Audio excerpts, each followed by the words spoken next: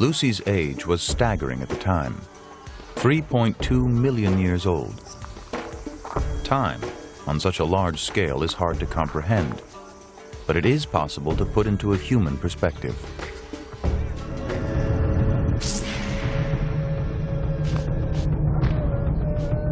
Take a single modern human and place a parent behind him, and then a parent behind that, and so on. Generation after generation stretches into the past, forming a line of spectacular proportions.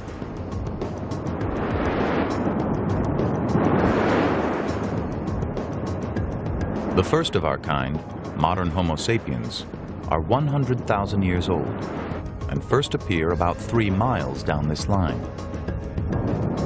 To find a species like Homo habilis, which lived more than two million years ago, requires a 60-mile journey back in time.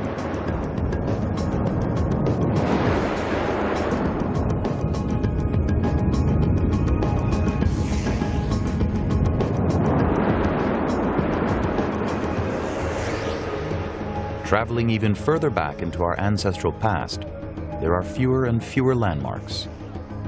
96 miles down the line and 3.2 million years into prehistory, we eventually find Lucy.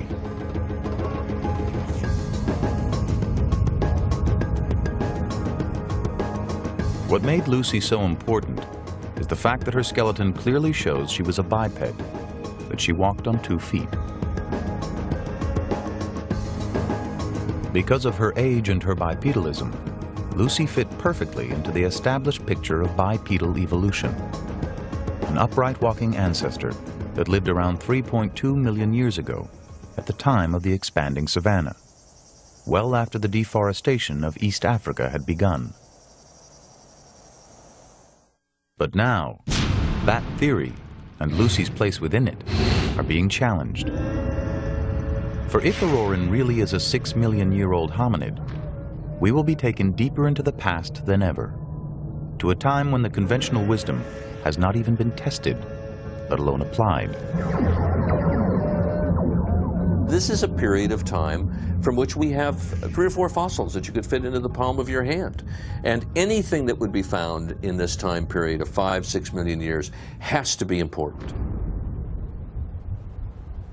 The bones' lasting significance will depend, however, not just on their age, but on where they are placed on the human evolutionary tree. We're really dealing with an infinitesimally small and we hope representative part of the fossil record and trying to draw out details about human evolution from those few remains. It is a daunting task, for although there is only one surviving species of humans today, our evolution was a convoluted one. For evolution is about populations, populations that sometimes split to form new species, and other times die off in evolutionary dead ends. Determining any single fossil's place in this chaos is an immense challenge. For a long time, anthropologists have uh, speculated that the that the recent ancestor, the common ancestor to uh, both the living African apes and uh, those branches that evolved into uh, hominids, uh, was to be found somewhere between 6 and 10 million years ago in Africa. The map of human evolution is constantly being redrawn as new discoveries fill in holes in the record. But scientists generally agree that hominids split from apes over 6 million years ago. Was Orrorin present when the split occurred?